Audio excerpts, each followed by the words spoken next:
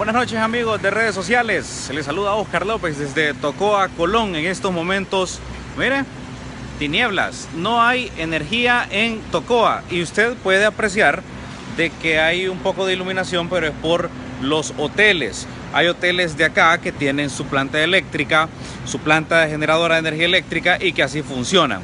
Pero a mis espaldas podemos ver una total tiniebla, se ha ido la energía en Tocoa. Esto está pasando también en Sabá y en Zonaguera.